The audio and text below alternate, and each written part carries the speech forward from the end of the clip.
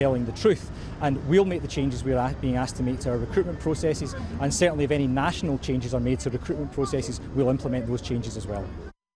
The driver of the bin lorry, Harry Clarke, was seen slumped behind the wheel as the crash unfolded.